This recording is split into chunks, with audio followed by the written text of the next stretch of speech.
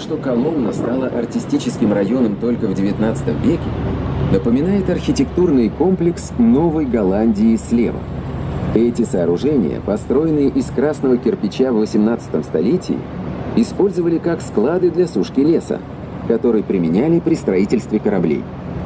Согласно легенде, название Новая Голландия было дано острову лично императором Петром I.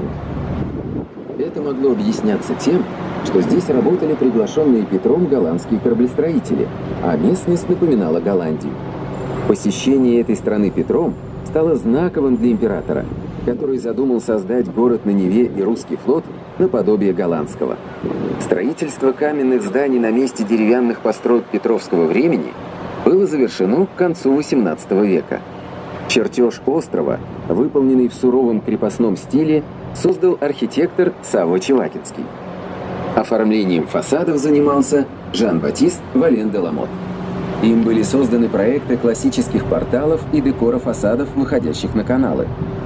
Проекты двух мастеров были переработаны и воплощены инженером Иоганном Герардом. В XIX веке на территории острова была сооружена морская тюрьма, а одно из зданий перестроено в лабораторию морского ведомства, опыты в которой проводил Дмитрий Иванович Менделеев. В начале 20-го столетия появилось здание радиостанции, при помощи которой держали беспрерывную связь с кораблями Балтийского и Черного морей.